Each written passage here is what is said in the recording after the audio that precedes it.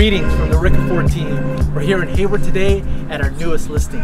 Next to me, we've got a beautiful, move-in ready, one bedroom condo.